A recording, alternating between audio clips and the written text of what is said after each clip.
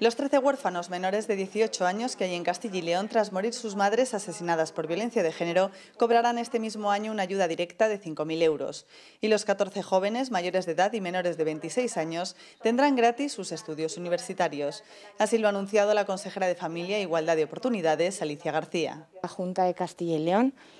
que además de manera pionera, va a regular ya de manera inmediata, a través de un decreto, una ayuda económica a los huérfanos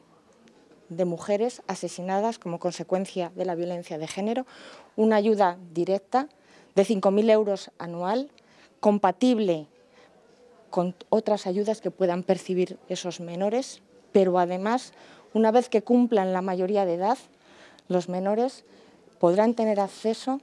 a la gratuidad de los estudios universitarios Alicia García ha hecho estas declaraciones antes de entregar los distintivos óptima, que reconocen el impulso a la igualdad de oportunidades entre hombres y mujeres en empresas y entidades de Castilla y León. Además, desde este año, las empresas que posean esta distinción tendrán también beneficios sociales y económicos, como que sume puntos en las licitaciones de contratos de la Junta de Castilla y León y en la convocatoria de subvenciones. En 2017, este distintivo ha recaído en las empresas Limpiezas Cruci y Formación y Mantenimiento Técnico, ambas de Burgos, Grupo INSEM, Desarrollo del Conocimiento de Zamora, la Sepulvedana de Secovia y las vallisoletanas Ibecom, Mertolec, Begarsa y la Universidad Europea Miguel de Cervantes.